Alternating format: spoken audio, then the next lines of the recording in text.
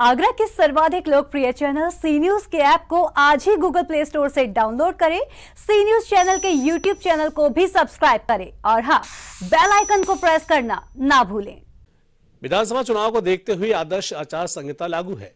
आदर्श आचार संहिता उल्लंघन के तहत जनपद में अलग अलग थाना क्षेत्रों में अब तक तेरह बार दर्ज किए गए हैं। आगरा जोन में पिछले विधानसभा चुनाव में आचार संहिता उल्लंघन में गंभीर अपराध के मामलों में 220 लोग नामजद हुए थे। सबसे ज़्यादा मामले मैनपुरी में दर्ज किए गए थे। आगरा, मथुरा और कासगंज जनपद में एक भी केस दर्ज नहीं हुआ, लेकिन इस बार जनपद में तेरह प्राथमिक दर्ज की गई हैं। आचार संहिता उल्लंघन के संदर्भ में जनपद आगरा में कल तक कुल मिला के तेरह प्राथमिकी दर्ज हुई है।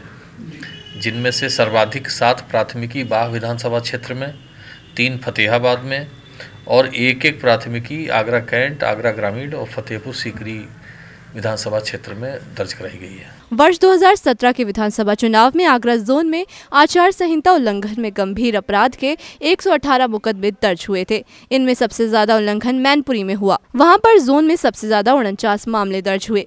एटा में 27, फिरोजाबाद में 24 और अलीगढ़ में 17 केस दर्ज हुए। वहीं आगरा मथुरा और कासगंज में एक भी शिकायत दर्ज नहीं हुई थी।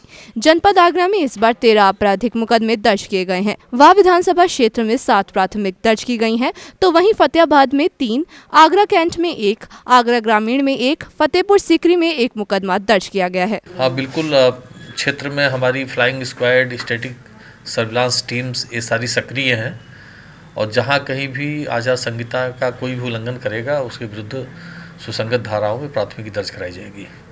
आचार संहिता उल्लंघन के तहत आगे भी कार्रवाई जारी रहेगी। चुनाव को देखते हुए जनपद में तीन कंपनी फोर्स बाहर से आया है। यह फोर्स पुलिस के साथ क्षेत्र में भ्रमण कर रहा है। लोगों को सुरक्षा का एहसास कराया जा रहा है। मतदान से पहले और फोर्स आएगा। सी न्यूज़ के लिए संदीप शर्मा की रिपोर्ट।